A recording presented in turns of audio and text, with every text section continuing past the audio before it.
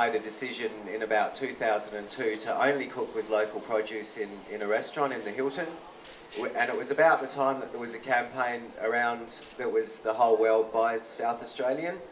And I came to the conclusion that the whole world bought South Australian except for South Australia. Because every time I rang a supplier to try and get something, they'd say, oh no mate, that goes to export. And I think it's time for us to stand up and realise how lucky we are, how great our food is, and to support those industries across networks.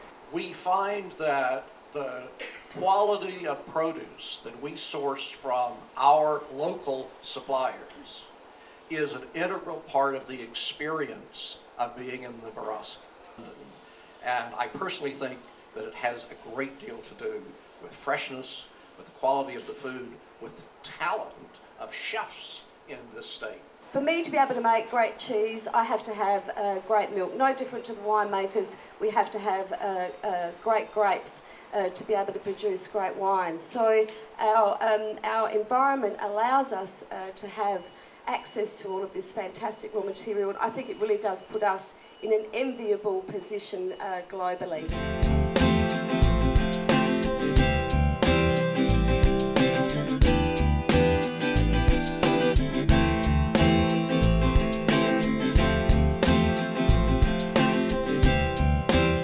Over the last couple of years, uh, Juliet and I and Nigel, we decided that we wanted to take this on the road and trying to get other Aboriginal people involved in the growing industry. We did that. Uh, we've got 23 people uh, uh, working in our industry, Aboriginal people, which they never had employment before. And they uh, do grow quality, good produce to the market. So those 23 people who never had a job before now is working within our industry. As uh, being asked to be an ambassador, I'm very proud of. I, I have a connection as Deputy Chairman of Australian Made, Australian Grown.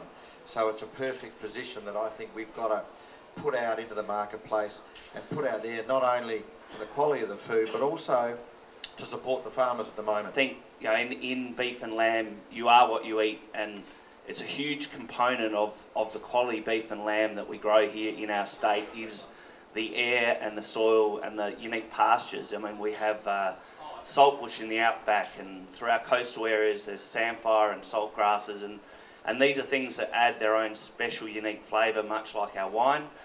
I'm very honoured to be part of the ambassador program and I guess premium for me, I'm, I'm surrounded by premium food every single day. I, I work uh, out of the Adelaide Central Market. I've also been lucky enough this year uh, to take up a role on a, on a Channel 7 show called SA Life, which means I get to um, have just about my dream job. In fact, I'm pretty sure it's my dream job of travelling around and meeting producers, uh, tasting little bits and pieces along the way, and being able to share it with other South Australians.